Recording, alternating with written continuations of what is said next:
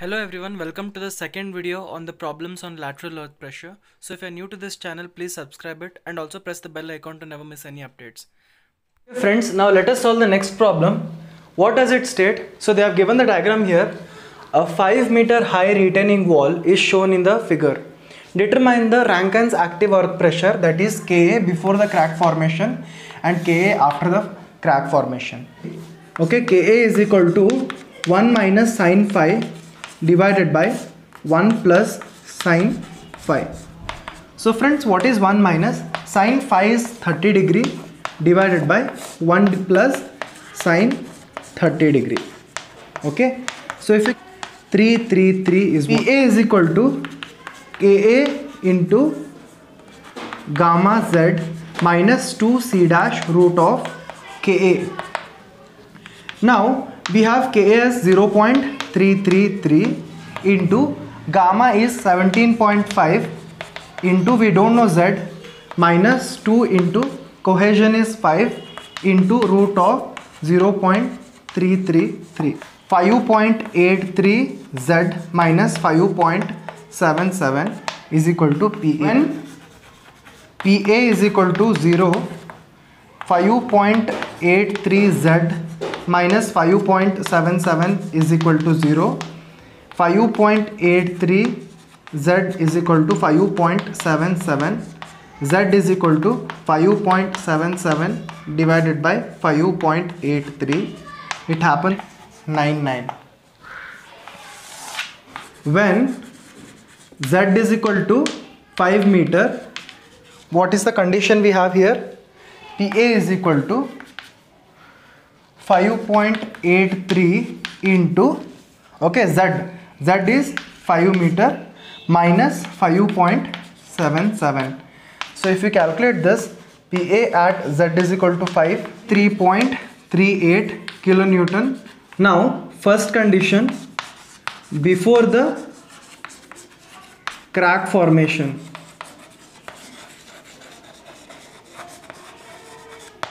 so for the condition for before crack formation negative pressure is equal to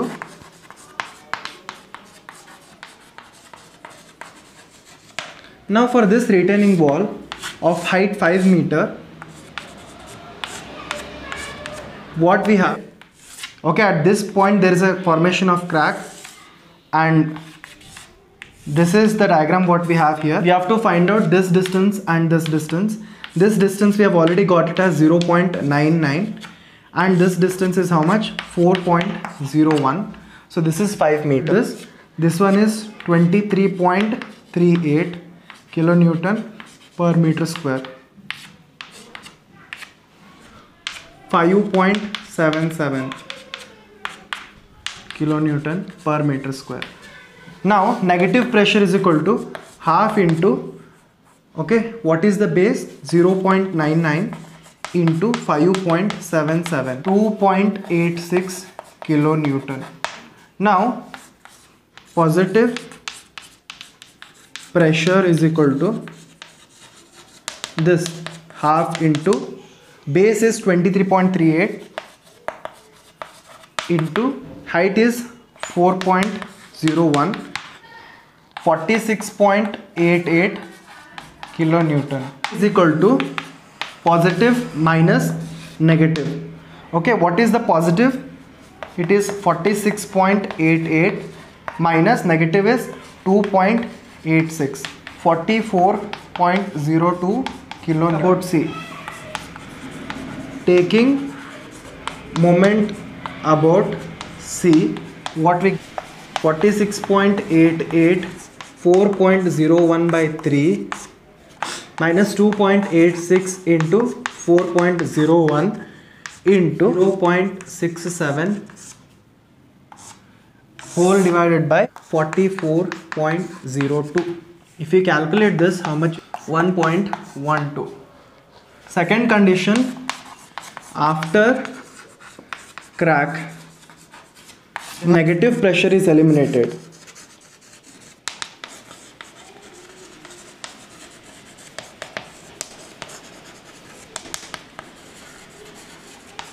PA is equal to half into this is 23.38 into height is 4.01 is 6.88 okay? This is negative. Is equal to half into Ka gamma h into h 2 c dash h root Ka minus 2 c dash square by gamma now what we have? Half into 17.5 square into 5 minus 2 into what is c here? 5 5 into root 0.33 minus 2 into c is 5 square divided by gamma is 17.5 if you can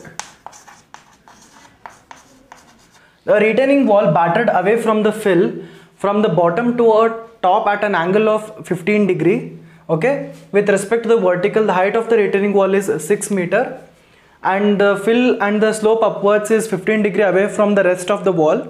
And the wall friction is uh, 30 degree and uh, sorry the wall friction friction angle is 30 degree and wall friction is 15 degree. Use wedge theory to determine the total active and passive thrusts on the wall per linear meter Gamma is 20 kilonewton per meter cube. Now, what are the given quantities? Let us write down. So, the height of the retaining wall is how much? 6 meter. Okay. Then beta is equal to how much? Beta is equal to 15 degree. And alpha is equal to how much? It is 75 degree. Okay. Phi is equal to 30 degree. And also delta is equal to 15 degree. Gamma is equal to 20 kilonewton per meter cube. Ka is equal to sine of alpha plus phi divided by sine square alpha sine alpha minus delta 1 plus root of sine of phi plus delta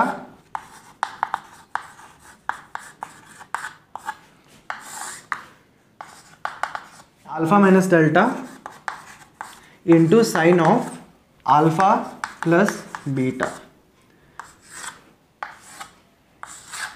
So this is what is the formula. Now let us substitute here. Sine of alpha is 75 plus 30 divided by sine square 75 sine of 75 minus 15 into 1 plus root of sine of 30 plus 15 sine of 30 minus 15 sine of alpha is 75 minus 15 sine of 75 plus 15 okay? If you calculate this equal to 0.542 sine of alpha minus 5 sine square alpha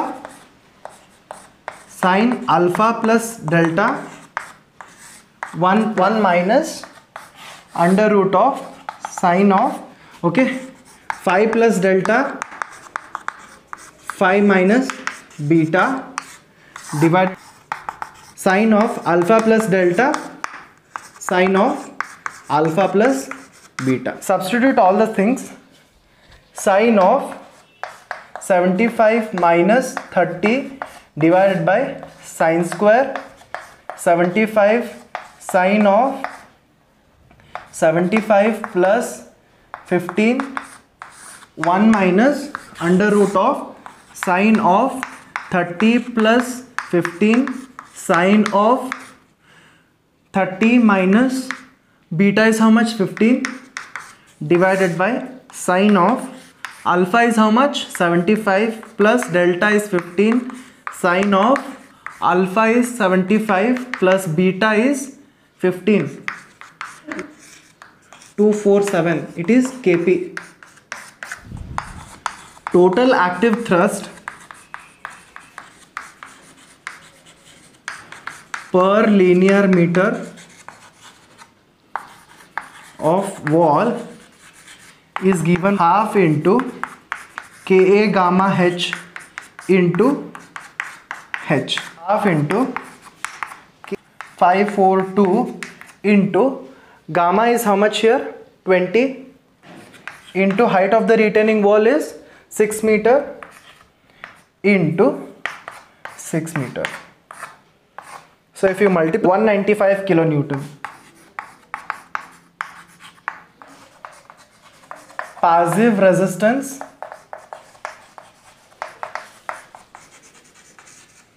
per linear meter run is given to kp gamma h into h. So half into 6247 into gamma is how much here? 20 into height 6 into 6 total answer is 2249 kilonewton. Let's solve the next problem. They have given a counterfort retaining wall of height how much? 10 meter. It retains on a non-cohesive backfill. The void ratio of the internal uh, backfill is 0.70 and the angle is 30 degree. Phi in the dense state sorry in the loose state is 30 degree. And for the dense state dense okay this is for the loose state. For the dense state what they have given? They have given okay voids ratio as 0.40 and phi as 40 degree. This is state okay dry density gamma d is equal to g gamma w divided by 1 plus e okay? What is g? 2.61 into 9.81 divided by 1 plus what is e here? For this condition it is 0.70 so 15.6 kilonewton kilonewton per meter now here what is the phi angle? Phi is equal to 30 degree. That time ka happens to be 1 minus sine phi divided by 1 plus sine 5 okay? 1 minus sine 30 divided by 1 plus sine 30 so what is it is 1 by 3 in order to calculate kp what we have? Kp is passive earth pressure. It is inversely proportional to active earth pressure's coefficient. Passive earth pressure coefficient is inversely proportional to active. So 1 divided by 1 by 3 so this is maximum active earth pressure is equal to ka into gamma d into h. So ka is how much? Ka is 1 by 3 and gamma d is how much here? Gamma d we have already calculated as 15.6 okay here it is 15.6 into the height of the retaining wall is 10 meter. So 2 kilonewton per meter square. Pp that is passive earth pressure is okay? Kp into gamma d into h. So kp was uh, how much? It was 3 into what was gamma d? Uh, 15.6 into height is 10 68 kilonewton per meter square. Now for the dense state you have to calculate. Now for the dense state what are the condition we have here? Gamma d is equal to okay G gamma W divided by one plus E G is two point six one into gamma W is nine point eight one divided by one plus E is zero point four zero point nine two kilo newton kilo newton per metre cube is equal to how much forty degree okay? Now ka is equal to 1 minus sine 40 degree divided by 1 plus sine 40 so what is this? Kp is equal to 1 by ka so 1 divided by 0.217 is how much? Now ea is equal to ka into gamma d into h. So ka is how much? It is 0.217 so this is maximum pa huh? So maximum pa is equal to 0.217 into gamma d what we got here? Gamma d is how much? 18.92 into height of the retaining wall is 10 so this T 1.1 kilonewton per meter square. Now pp is equal to kp into gamma d into h. So kp is how much? 4.6 into gamma d is how much 18.92 into height is 10 is 870.3 kilonewton per meter square. On the comparison of the result we got the densification of soil that decreases with the decrease in the coefficient of active earth pressure increases with the increase in the coefficient of passive earth pressure. So Ka what happens when there is a coefficient of active earth pressure? There is the disturbing force whereas in case of there is a presence of coefficient of passive earth pressure there is resisting force Okay friends, coming to the next problem. A retaining wall 6 meter high retains the dry sand with an angle of friction that is phi is equal to 30 degree and the height is 6 meter. Okay. Next, it has a unit weight that is gamma is equal to 16.2 kilonewton per meter cube. Determine the earth pressure at rest condition. Okay. That is P naught is question mark. And also the water table rises up to the top. Okay? Now we have to determine the thrust on the wall. Thrust on wall is equal to question mark. Okay? It rises up to top. Up to 6 meter water table rise. Now what we have? K naught is equal to 1 minus sine phi okay?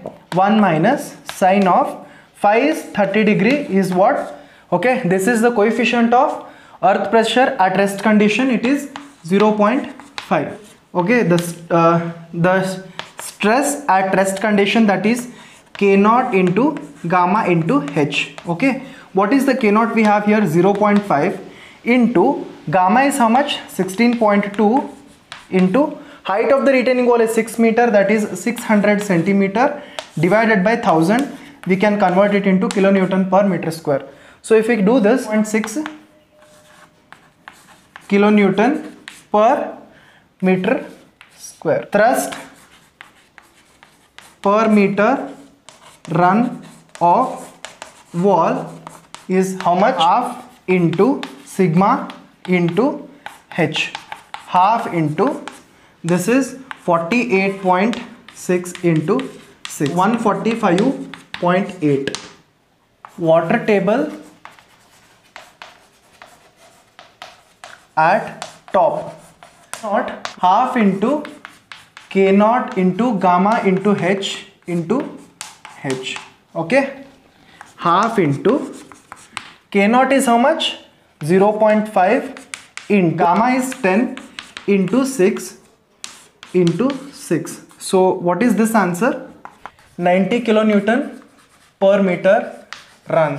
Now neutral lateral earth pressure that is pw is equal to half into gamma w into h square which is 10 into okay 6 square 180 per meter run. Now total lateral thrust is equal to p naught plus pw which means 90 plus 180 which happens to be 270 kilonewton per meter run. In thrust increase in thrust total lateral thrust minus thrust per meter run of wall. Now what is total lateral thrust? 270 270 minus 145.8 124.2 now 124.2 divided by 145.8 into 100 is 85.2 okay 85.2 percent of wall over dry fill is what is our conclusion So friends, hope you have understood all the problems of the second module of uh, lateral earth pressure problems. So if you have any doubt, please type it in the comment section. Also like, comment, share and subscribe. Thank you so much for watching.